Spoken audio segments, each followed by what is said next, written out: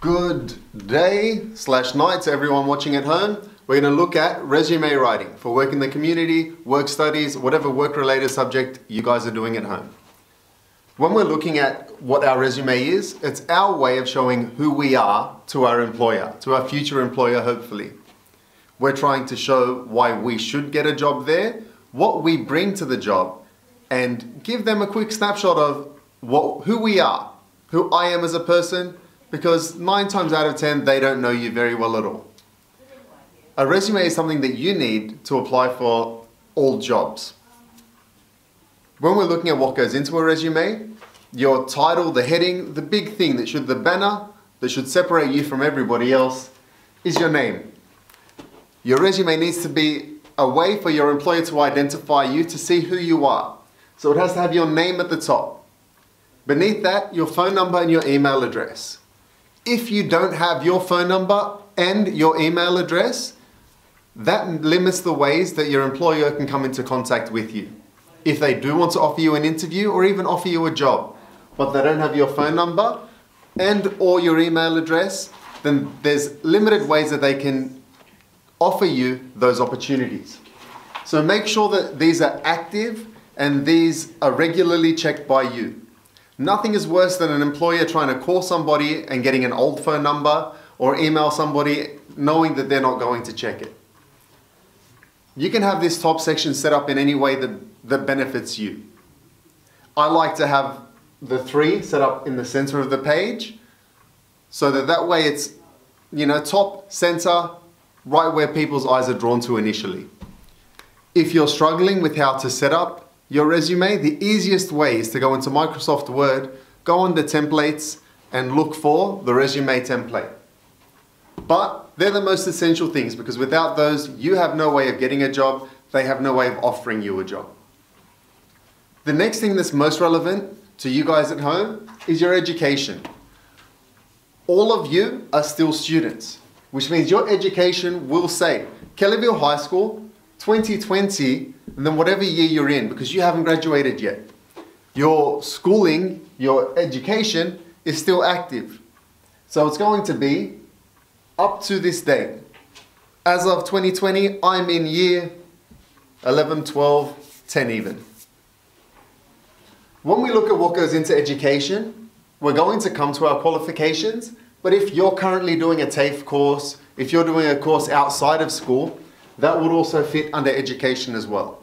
Because it's something that you're in the middle of, it's not something that you've completed just yet. The next topic is something that I personally don't like to put in a resume, a lot of other people do. We've got the hobbies.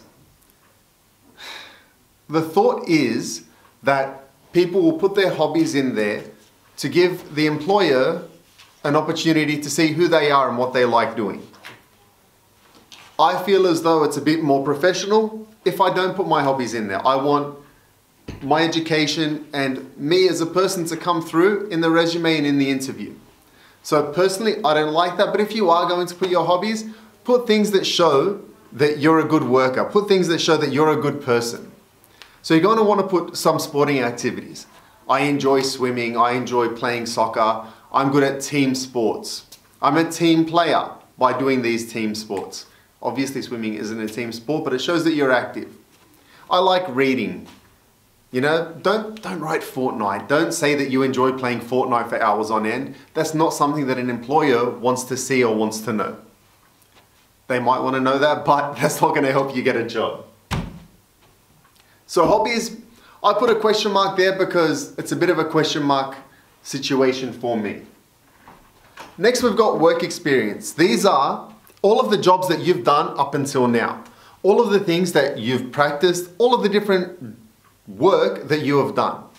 Some of you might have part-time jobs or might have had part-time jobs that you're not doing right now. So you're going to put down the part-time jobs that you've done. Some of you guys have done work experience through school, whether that's at Endeavour or at Coles, at whatever workplace that you've done, that's going to go down for however long you've done it for. You're going to put your rough dates or the time spent there. My advice is get a little bit creative with how you write down the amount of time that you spent there. If you went there once a week, but you went there for the whole year, then you were there for a year. You weren't there every day for a year, but you were doing work experience there for a whole year. Then we've got our qualifications. These are all of the certificates, the education things that we've done that we've finished. If I've completed a TAFE course, bang, that goes in there. Any other qualifications, any extra courses that you've done, fit right into here. Make sure that you put the name of the place first, then the course that you've completed. And after that, the last part is referees. When we're looking at who our referees are going to be, these are the people that the employer is going to call and say, What do you think of Mr. H? I'm asking you questions to see whether I should give him a job. So make sure that your referees are people that are going to say nice things about you. Don't go, don't put a former boss that fired you because you did no work or you were really lazy when you worked there. Because you might have changed now, but as a worker, they know you as a really lazy person that doesn't want to do the work. So your referees will need to be people that have a really good image of you, that see you as a great worker.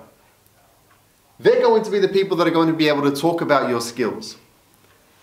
Try hard not to put your parents down as your referees because employers don't want to look at you and say, they know that your parents are going to say very specific things about you. Yes, my son or daughter is amazing, they're great. That's not a fair snapshot of who you are in the employer's eyes. They want to see who you are in other people's eyes. You can ask your teachers at school to be your referees.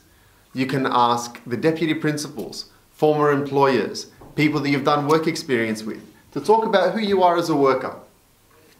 With our referees, we're going to need similar details to our own personal emails. So we're going to need their name, their phone number, and their relationship to us. So if it is your mom or your dad, it's going to come through in that part of the information pack. So what I would like everyone to do at home, I want you to complete your resume with all of these things in there. I don't just want everything written in, I want you to spell check. I want you to proofread everything that you have. When you have finished it, and this isn't a short process, you need to put a lot of time and a lot of effort into this. When you've completed the long process, I want you to upload your resumes to the Google Classroom.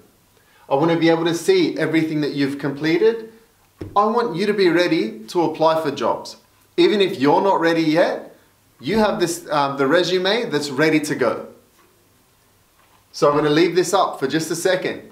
I want you to pause this video so that you can see everything that you need here.